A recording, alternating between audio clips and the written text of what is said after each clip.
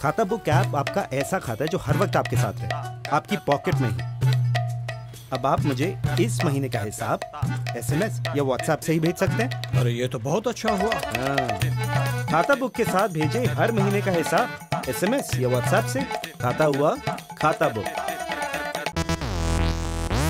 राकेश मारिया मुंबई के पूर्व police commissioner. उन्होंने किताब लिखी है। इसका नाम है लेट मी से इट नाउ इसमें मारिया ने कई बड़े खुलासे किए हैं। उन्होंने 2015 के शीना बोरा मर्डर से लेकर 2008 के मुंबई आतंकी हमले के बारे में कई खुलासे किए हैं।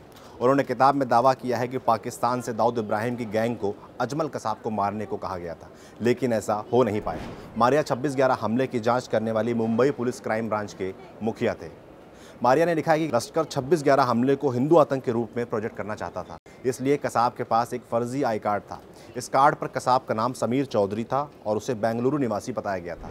मारिया ने लिखा, यदि सब कुछ प्लान के हिसाब से होता तो कसाब की मौत चौधरी के रूप में होती और मीडिया हमले के लिए हिंदू आतंकवाद को दोष दे रहा होता। मारे ने लिखा है कि आतंकी संगठन ने मुंबई हमलावरों के साथ भारतीय पतों वाली फर्जी आईडी प्लान की थी। आतंकी हमले के बाद कसाब की एक तस्वीर सामने आई थी। इसमें उसकी दाई कलाई पर लाल रंग का कलावा बना हुआ था।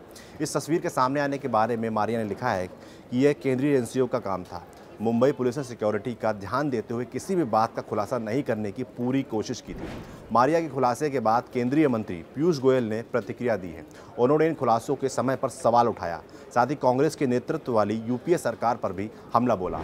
गोयल ने कहा, सबसे पहले तो ये कि मारिया ये सब अब क्यों कह रहे हैं? उन्हें ये सब पुलिस कमिश्नर रहते ही बता देना चाहिए था।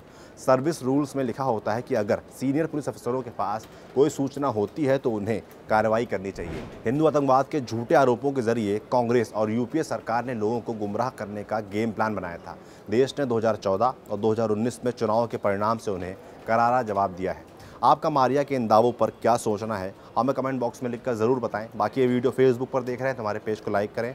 यूट्यूब पर देख रहे हैं तो हमारे चैनल को सब्सक्राइब करें। इसके अलावा हमें इंस्टाग्राम पर भी फॉलो कर सकते हैं, साथ ही हमारा पेज लटक, एक नया पेज आया है, जिसमें अगर आप कविताओं और कहानियों के शौकीन तो उसे फॉलो कर सकते हैं। शुक्रिया।